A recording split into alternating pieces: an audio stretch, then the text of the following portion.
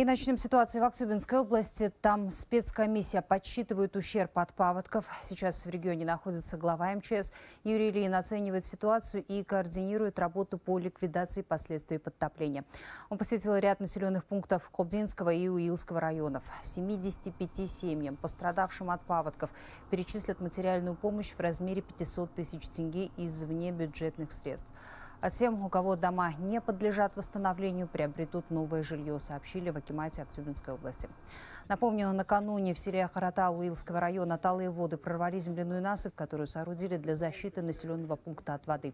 В результате подтопленными оказались 12 дворов. Вода зашла в два дома. 79 домов и 22 дворовые территории подтоплены в селе Хобда. Три жилых строения полностью разрушены, два в аварийном состоянии. Работы по откачке воды продолжаются довольно-таки сложная обстановка в Уилском районе. Принято решение, сейчас срочно уже предпринимаются меры по направлению инженерной техники, разрыву перемычек лиманных сооружений, которые были сооружены там, потому что есть угроза повышения уровня воды и, соответственно, подтопления населенных пунктов нескольких ниже по течению реки Уил.